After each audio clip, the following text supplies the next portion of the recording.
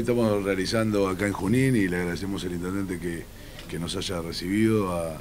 en el Consejo de Seguridad Interior Norte. Para nosotros es muy importante estos consejos regionales, que son ocho y terminan en el Consejo de Seguridad de la provincia de Buenos Aires, que realizamos uno cada seis meses. Y la idea de esto es ir evaluando cada una de las regiones, el funcionamiento, cómo estamos en las estadísticas desde que comenzamos ahora, qué se ha mejorado, qué cosas aún no merece mejorar eh, poder entregarle a cada intendente la estadística con la cual nosotros contamos, el análisis que hacemos de cada uno de los distritos. La gran presencia de intendentes para nosotros es muy significativa y están presentes todos los distritos que fueron convocados por intendentes, por secretarios de seguridad, secretarios de gobierno. Eh, así que para nosotros eh, esto nos da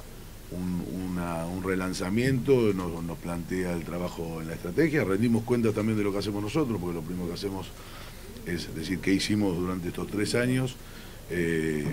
qué encontramos, qué es lo que vamos haciendo y hacia dónde vamos. Y siempre está esta, esta posibilidad de poder escucharnos, de poder hacer punteos, de poder trabajar en equipo, ¿no? Cuando uno puede trabajar en equipo, cuando uno eh, tiene el mismo objetivo que es mejorar la seguridad, en este caso mía de, Junín, pero del ministro de toda la provincia de Buenos Aires, con una orden clara, la gobernadora María Eugenia Vidal, en lo que es la lucha contra las mafias, el narcotráfico. Bueno, y Junín ha sido un ejemplo eh, concreto en este sentido, donde se han dado operativos, se han destrabado operativos muy importantes, con, resultados muy importantes, donde bueno, se han incluso personas hoy, hoy presas. Y ese trabajo en conjunto nos permite día a día eh, puntear, porque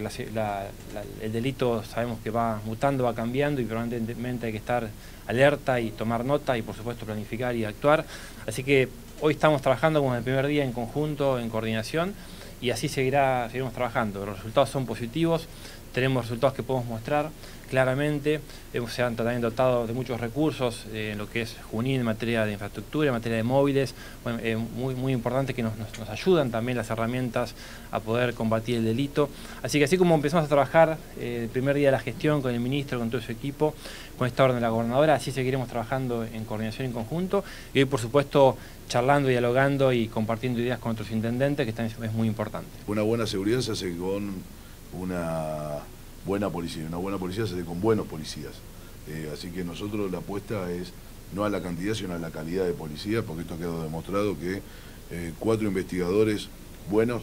eh, pueden destrabar bandas gigantes y 100 malos investigadores no llegamos a ningún resultado. Así que nosotros tratamos que estén bien formados y un ejemplo de esto fue lo que se ha hecho con una banda donde se secuestró más de 100 autos acá en Junín, lo que ha hecho el sector de narcotráfico, o sea, eh, digo, ustedes acá tienen la muestra que cuando se trabaja bien, cuando tiene elementos, la policía puede crecer. Cuando no pasa eso, este, uno puede tener mucha cantidad que están hablando por teléfono en una esquina y eso no le sirve a ningún ciudadano. El delito en general ha bajado. Eh, puede haber en alguno particular, en algún, en algún municipio, pero en general ha bajado todos los delitos, principalmente los delitos de homicidio, el de robo automotor, eh, eh, acá bajado el de robo, el de asalto de mano armada, o sea que los delitos y los, delitos, los calificados bajaron todos y eso es en forma exponencial. Y así como ha aumentado el secuestro de armas de fuego y ha, aumentado el secuestro, ha aumentado el secuestro y operativos en narcotráfico.